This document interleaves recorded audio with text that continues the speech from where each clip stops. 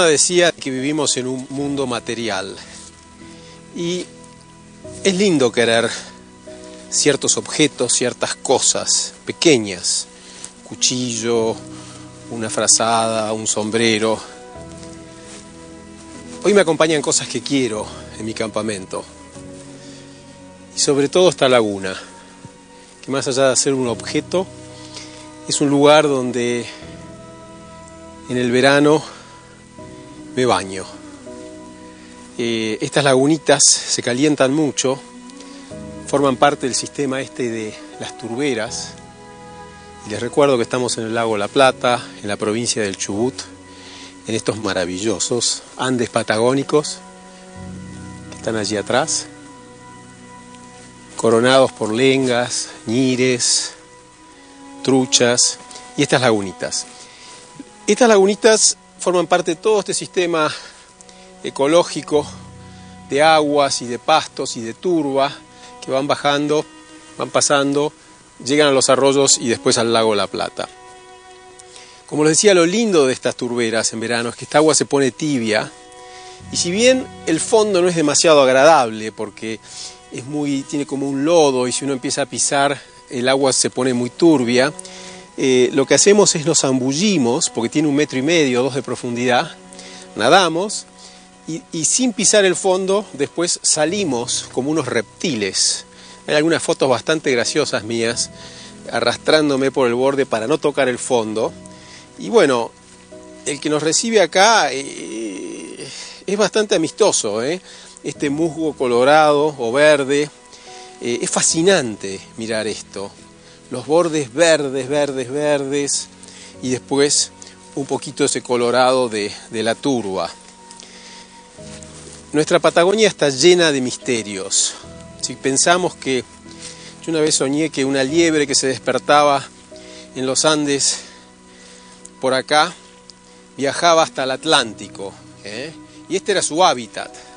Vivía acá, en las montañas y dejaba los bosques, llegaba a la precordillera y lentamente iba pasando por los desiertos hasta llegar al Atlántico. Y son mundos tan distintos, ¿no? 3.500, 4.000 milímetros de lluvia por año en esta zona, 1.500 en la precordillera, 500 después y a veces regímenes inclusive más bajos cerca del mar. Y el mar tiene esa cosa hirsuta, ¿eh? donde habita la, la centolla, la merluza negra, todos esos deliciosos animales, bichos, bestias del mar que tanto nos gustan. Y digo todo esto porque hay una conexión entre estos Andes y ese Atlántico que está, está por allá, está por allá, a 500 kilómetros en línea recta. Y acá, enfrente mío, al oeste, en un valle que se abre, detrás de esos árboles, está Chile. Estoy muy charlatán. Tengo acá una truchita, lindísima, ¿eh? muy bella. La voy a hacer desfilar para que la vean, la tengo clavada. Ahí está. Ahí se ven todas sus bellezas de colores. ¿eh? Su alimentación le da ese color magnífico. Y la voy a cocinar. Primero de este lado. Ahí está. Sobre esta vara. ¿Qué es esta vara? Es una vara de ñire verde. Ahí está. Ella está ensartada transversalmente con tres ramitas, verticalmente con una, y todo eso sujetado a una vara verde de Lo mejor para cocinar una trucha así es hacerlo muy despacito, ¿eh? Eh, que ella va recibiendo un calor así muy, muy suave para que vaya pasando bien, bien despacito. Y sobre el final la voy a dar vuelta para que se cocine del lado de la piel. ¿eh? Y la voy a ir espiando por acá, por allá y demás. Pero por ahora está bien. Atento al viento, el viento viene de allá, así que le está dando buen calor, inclusive un poquito de humo que me gusta. Y la voy a ir mirando. Está bien ensartada. ¿eh? Eh, en toda la zona de la Mesopotamia, por miles de años, todos los indígenas cocinaban todos los pescados de los ríos así, ¿eh? a la vara. Es una forma fácil de hacer algo como si fuera el asador. Tengo unos invitados muy coloridos hoy, ¿eh? como pueden ver.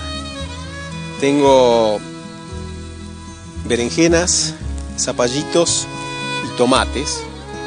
Y lo que voy a hacer con ellos es ponerlos dentro de mi cacerolita con patas y les voy a cocinar después despacito con un cariñito por abajo y otro por arriba, como se hace, ¿eh? así. Entonces, ¿qué voy a lograr? Que el calor que tenga de abajo, que, que sea pequeño, las vaya cocinando y el de arriba, más grande, eh, que, las, que las gratine un poquitito. ¿eh? Le voy a poner un poquito de perejil, que tiene un poco de ajo y un poco de ají molido. Y también le voy a tirar al final un puñadito de pan rallado, que puede ser seco o puede ser fresco, ¿eh? lo que más les guste. Bueno, voy a trabajar. Voy a hacer un lugarcito acá para empezar a poner mis ingredientes. Entonces voy a poner mis berenjenas allí. Están sencillamente cortadas en rodajas. Si se van cual tobogán, pueden llegar a la lagunita esa, que no quiero. Un tintillo de sol. Un vino que homenajea esta Patagonia hoy ardiente.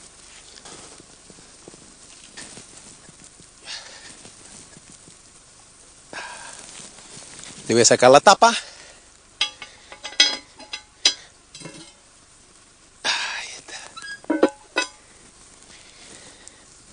Y voy a empezar a preparar acá mi ratatouille.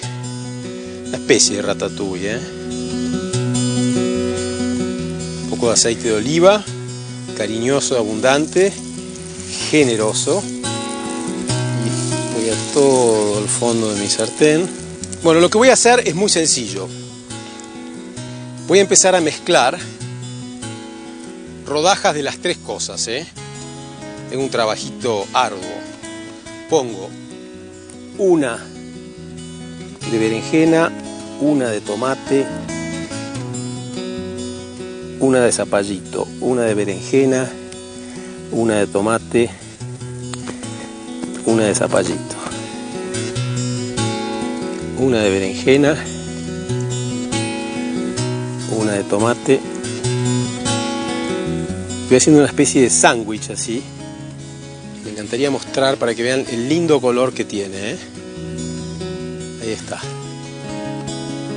Y esto voy a llenar toda, toda, toda mi cacerola con eso y después aderezarlo. Ya lo van a ver.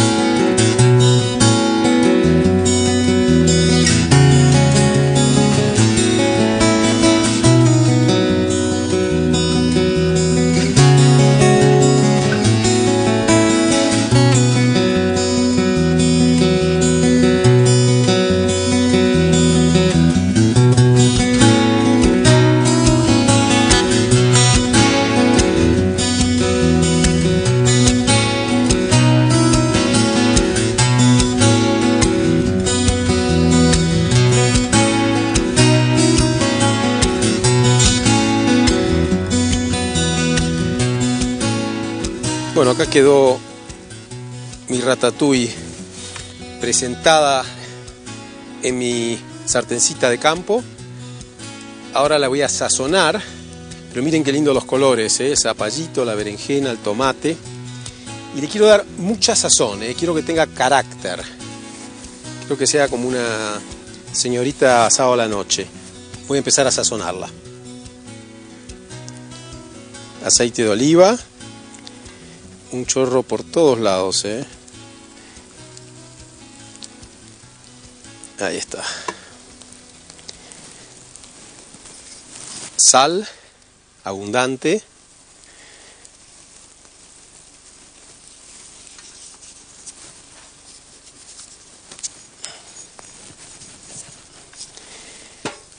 Pimienta.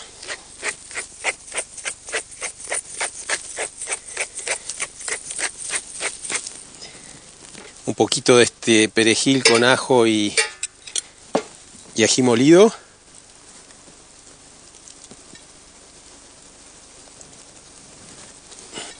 Esto va a ir bajando después, ¿eh? durante la cocción.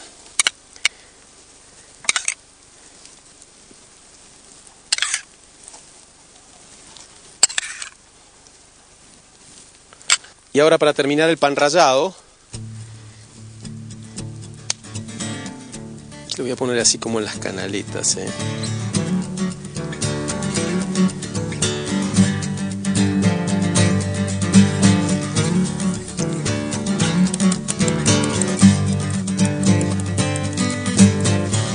Quiero que se encuentre abajo con,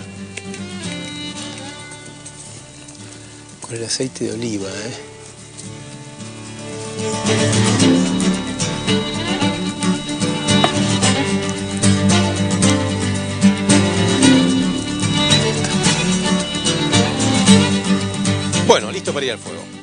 Voy a preparar mi, mi fuego.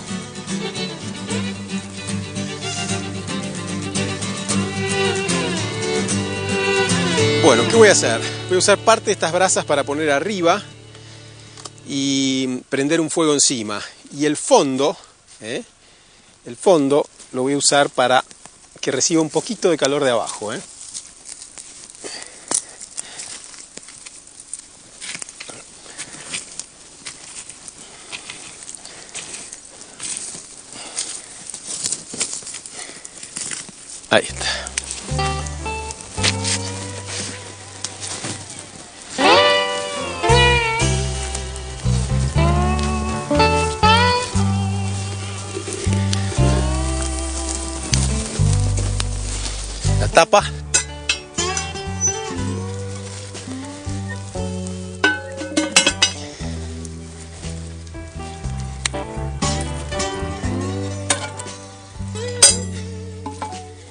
La manija la quiero dejar levantada.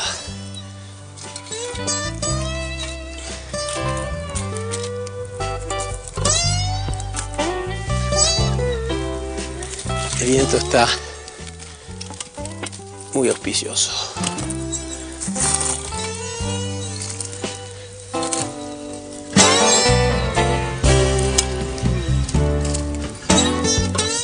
Acuérdense que cuando cocino trato de cocinar y gratinar cosas con esta cacerolita con fuego encima. Lo que estoy siempre buscando es que haya una buena cobertura de calor en todo.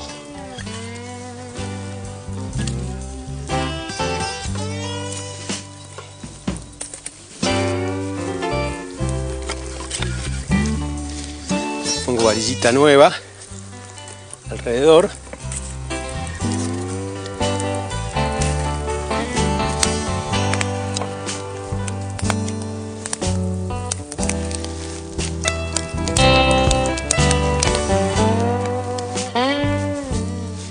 Ahora en cuanto venga una llamarada con un poco de viento,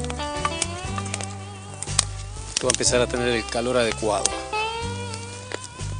Y además va a continuar dándole un poquitito de calor a, a nuestra trucha.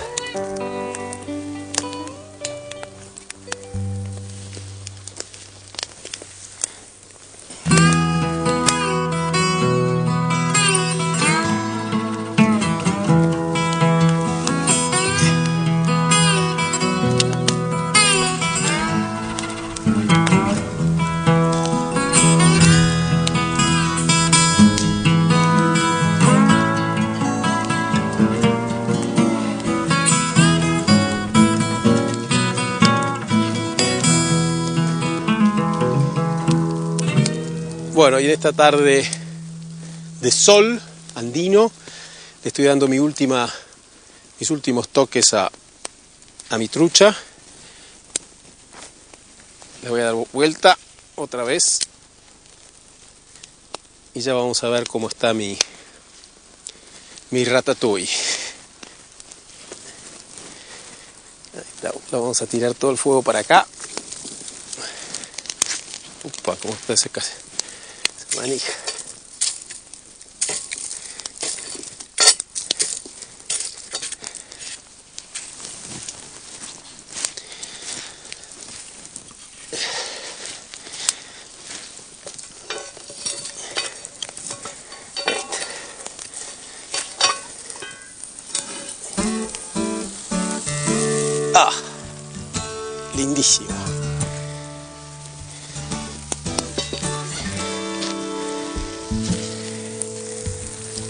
Lindo está.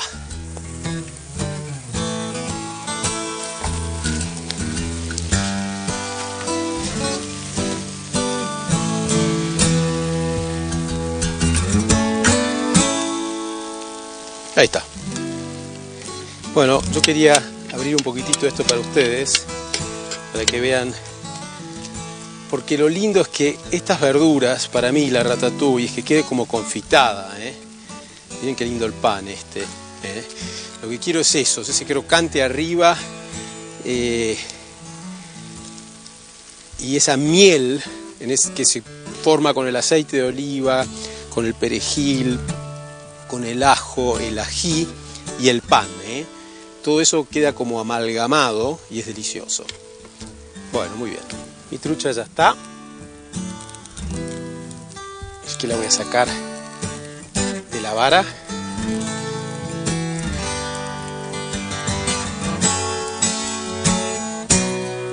Ahí está.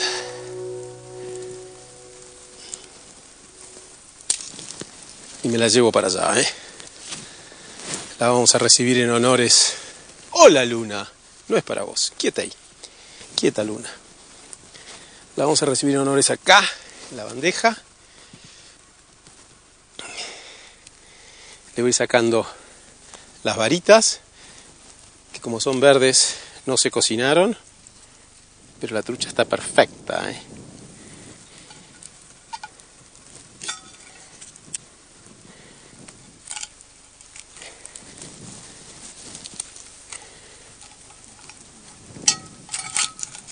Ahí está.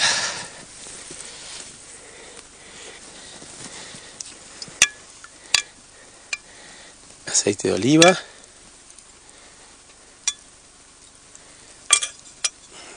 Y ahora sí le voy a dar sazón, ¿eh? Sal. Pimienta. mi ratatouille.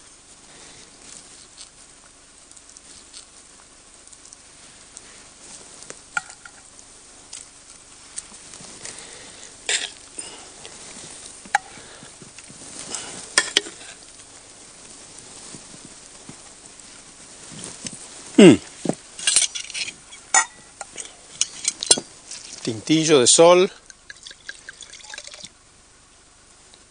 No te caigas a la laguna. Ay, me voy a sentar acá.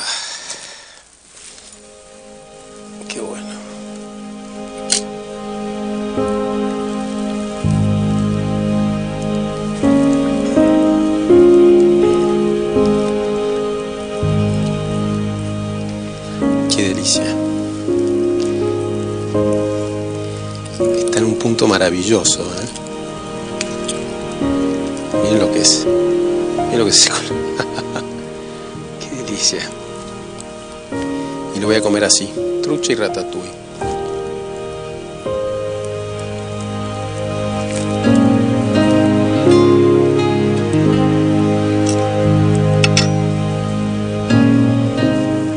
Mm. Sumamente jugoso.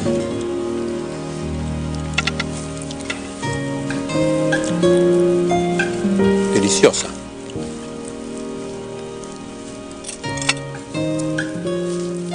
una linda tarde.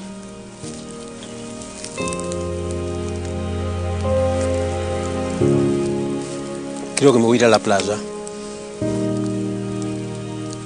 Sí, me voy a ir a la playa. Voy a hacer un fuego en la playa a ver el atardecer. Voy a por mi campera porque ya está refrescando.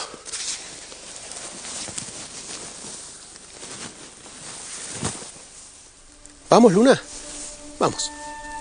Vamos por acá. Vamos, vení, vení, Vamos, vamos.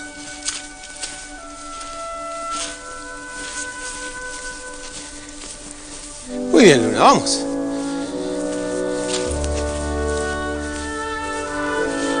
Vamos, Luna, vamos.